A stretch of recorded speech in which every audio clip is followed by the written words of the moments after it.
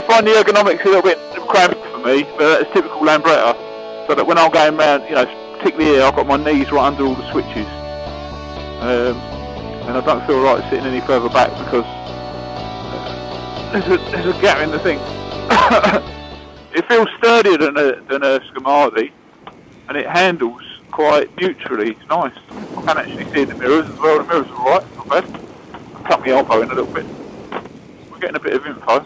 So it's giving me engine RPM, speed, odo, fuel and temperature all in one digital dash, as well as a load of idiot lights um, underneath underneath the Royal Alloys thing. So if these speedos don't leak, I've got to say that's a, a pretty good dash design something that looks quite retro. Done a decent job of that. Yeah, it's not as not as awful as I as, as I was expecting to be honest. No, same here. Um, I was expecting the frame to be a lot flexier, but they've obviously done something to stiffen it up because it's it's not. It doesn't feel like it's bending. It's going over bumps. Like you say, the front's not bad. The back's a bit stiffer than Yeah. the GTS, I'd say. Or it might just be that you've got a thinner seat, so I'm getting a bit more pummeling in my back. I don't know. Is there space for someone behind me? There, yeah, not there? yeah, plenty of Yeah. space. I'm not. I'm not sat that No. far back. So if I sit further back, then I've got my knees out of the way of the bars. Yeah. But then I've got to put my feet in a different place as well. I can imagine the Series 2 one's going to be if I sell like hotcakes. Definitely. It's going to make a massive difference to GTS sales, I think. Do you reckon? Yeah, How many how many GTS sell in a year now? not a lot. I think Not a lot, I a think few hundred. Last, I think last year about 280. I think. Right, yeah, so I thought about 300. So there's probably, there's not many people buying them for commuting anymore. They're so easy to steal, aren't they? Certainly didn't help, did it? It don't feel twitchy at all, does it? No, not even, not even when isn't it's wet. No. You got an advantage, you got a screen as well, haven't you? So Yeah. yeah. that'll give you a little speed advantage, won't it? So, I think the three brake horsepower is probably better for it. I would have thought the old GTS though to be very close. you reckon, yeah? Yeah. It's just not quite as practical for commuting. But at least No. your toolbox ain't that small, is it? So No. it's PX size, isn't it? A bit bigger, perhaps.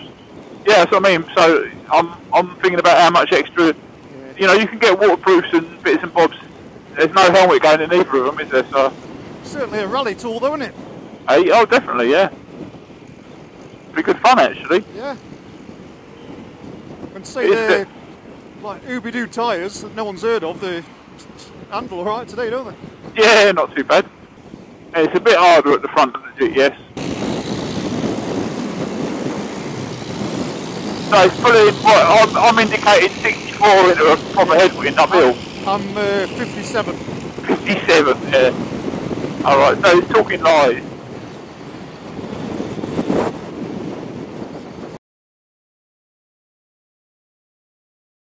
Right, ready, to go. Right, wait, you're going to be up here, Yeah, you it changed, didn't it? Time. Yeah, this is saying 68. What's yours saying? 59. 59. That's it. Horrific difference.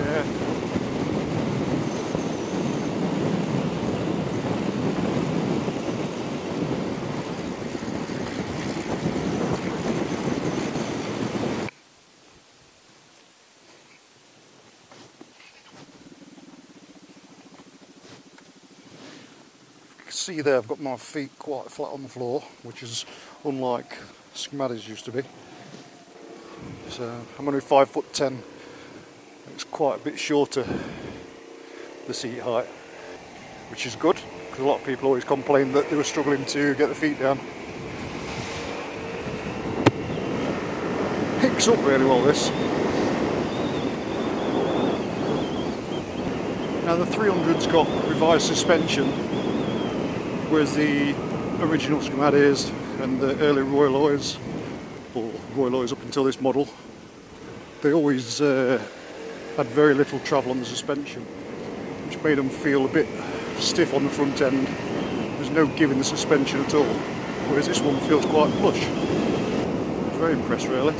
This uses a derivative of the old pre-HPE Vespa GTS engine.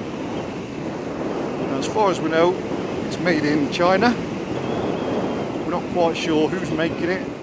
The casting's different to a Piaggio engine, so visually it's slightly different. I've took the panels off on this and you can't quite see really the uh, fuel injection system's made by. don't know if it's Magneti Marelli or not, but it's a bit hard to see. There's just a barcode on it with Royal Alloy GP300. So whether it's the same fueling or not, I don't know. All I can say is it's nice and smooth.